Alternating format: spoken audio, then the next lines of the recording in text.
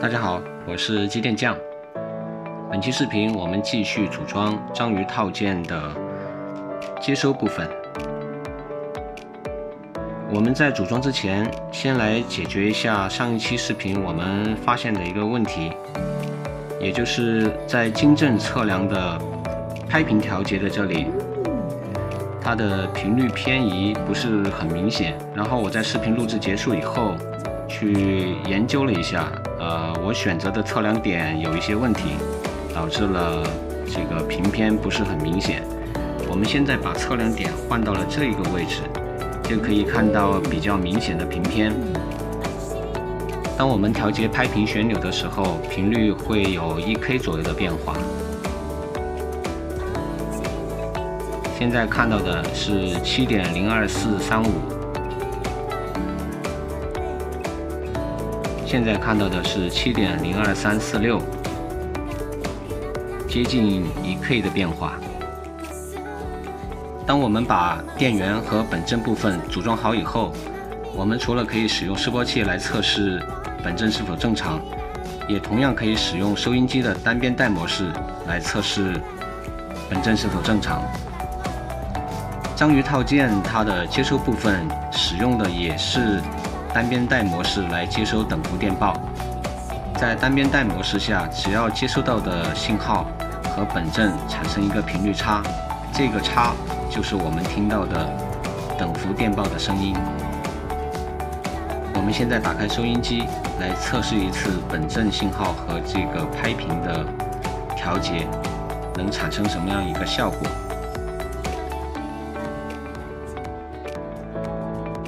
现在我们把拍频旋到最底，也就是没有频偏的样子。我们收音机设定在。七点零二三的上边带，然后调节拍频，使消叫停止。这个时候，我们再来调节拍频的旋钮，就会听到消叫再次产生。这个就是我们收到的等幅电报信号。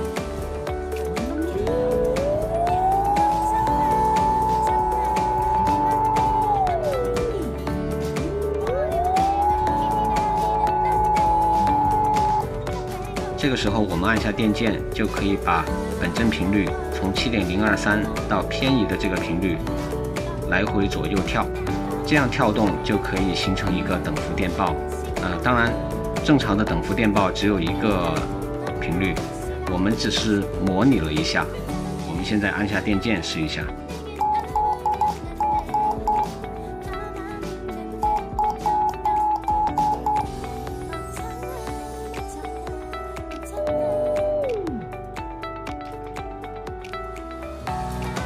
是不是很有意思？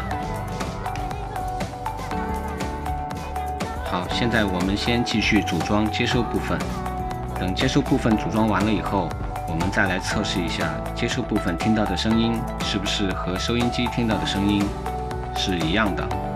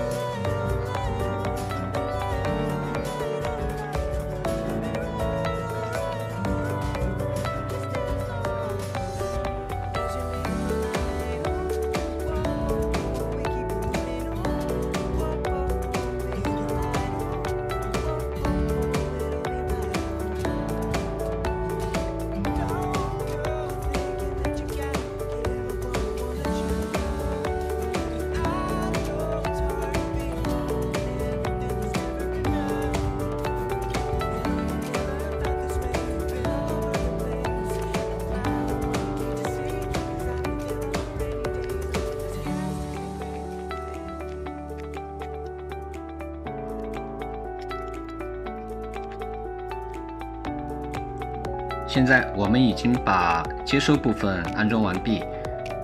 呃，我简单的介绍一下章鱼套件的接收原理。章鱼套件它的接收实际上就是一个单边带的接收，它只是做了一个直接变频，通过这一个芯片 N1602，把收到的7023的信号与本阵进行相减。比如说，我们现在本阵被调谐在了呃7024，然后减去收到的7023，就会直接变频一个低频，只剩下一 K，也就是人耳能听见的音频信号，通过 N15532 放大以后，从耳机孔输出。所以说，我们现在呃只需要把本阵的信号调的比7023高一些。我们就能够听到一个音频信号。我们现在将要通过这个呃测试仪，它同时也可以作为一个小小的信号发生器。我们让它发出一个七零二三的信号，然后用章鱼套件来接收一下，试一试它收到的信号是不是和我们刚才用收音机收到的信号是一样的。现在对章鱼套件供电，然后我们用这个小喇叭作为声音输出，把声音放大一些，让我们能够听得到。小喇叭的音频插头我们插在章鱼套件的耳机输出口。现在我们实际上已经可以听到一些背景噪声，仔细听一下。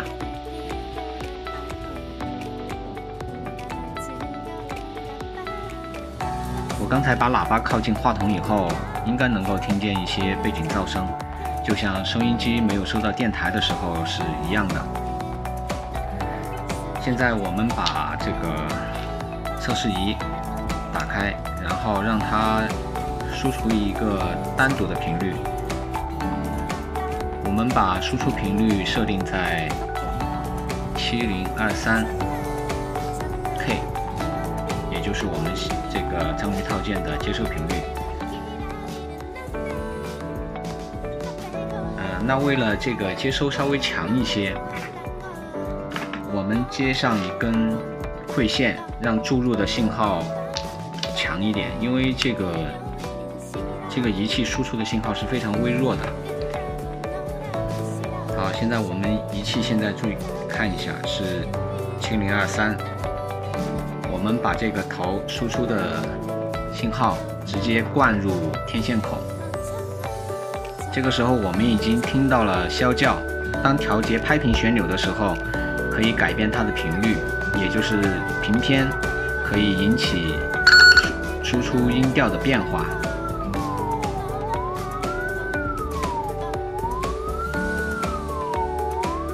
这个就跟我们调节收音机上面单边带的拍频旋钮是一个道理。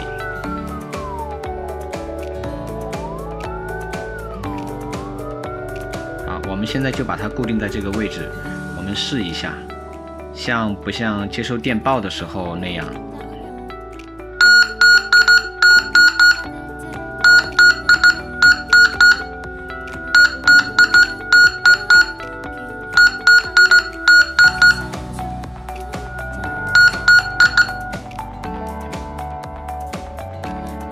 通过刚才的测试，我们已经知道了，呃，我们章鱼套件的本阵部分，还有接收部分，以及这个电源部分是已经能够正常工作了。下一步，我们就把最后的功率输出，也就是发射部分安装好。呃，我们在测试的时候呢，仍然会使用这个假负载，让它进行微功率的发射。这样，我们是为了保护电磁环境不受到干扰。好了，本期视频就到这里，我们下次再见。